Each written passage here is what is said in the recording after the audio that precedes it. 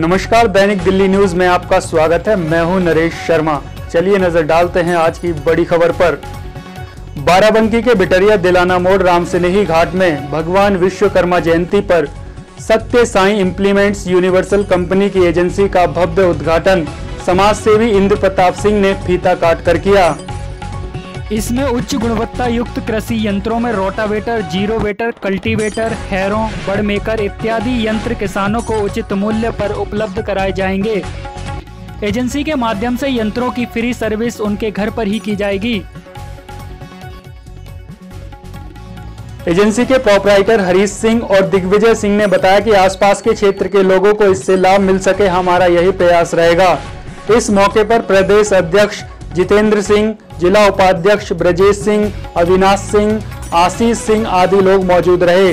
हमारी company Bharat engineering universal, आपके बाराबंकी के साथ में हरिपुर, अयोध्या में दो जगह हमारा आउटलेट का उद्घाटन हुआ है। और हम किसानों के सारे इक्विपमेंट, कृषि से संबंधित सारे इक्विपमेंट मजबूती के साथ, गारंटी के साथ और विश्वसनीयता के साथ दे रहे हैं। हम आपके माध्यम से किसान भाइयों से अनुरोध करना चाहेंगे कि वो एक बार हमारे इक्विपमेंट पे लेके इस पर भरोसा जताएँ। और हमारे साथ में कंपनी के जो सेल्स हेड है हरीश जी वो भी हैं। तो कंपनी के बारे में अधिक जानकारी आपको हरीश जी देंगे। किसान भाइयों की सेवा के लिए हम लोगों ने अपना आउटलेट यहाँ शुरू किया है जैसे डिसक्साई इम्प्लीमेंट के नाम से। एक बार आप लोगों के माध्यम से ये कहना चाहेंगे सारे लोग आकर के एक बार कम से कम विज़िट करके देखें। हमारे अयोध्या सर्किल के डीलर हरी सुधीर सिंह जी हैं। और आपको पहले से सभी पत्रकार भाइयों को मैं आपको तहे दिल से धन्यवाद दूँगा। आप लोग यहाँ आए, आप लोगों का मैं बहुत शुक्रगुजार हूँ कि आप हमारे निवेदन पे यहाँ पे पधारे धन्यवाद है।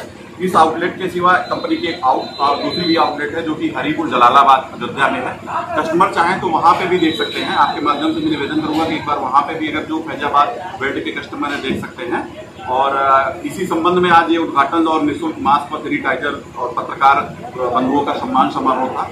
जो कि आप लोगों की जो है आने से बहुत ही चकाचौंध हो गया। और जितने भी हमारे क्षेत्र के सम्मानित किसान हैं या जो भी जो सम्मानित बंधु हैं, मैं तो आपके माध्यम से उनसे निवेदन करना चाहूँगा कि एक बार आए और सेवा का अवसर ज़रूर दें।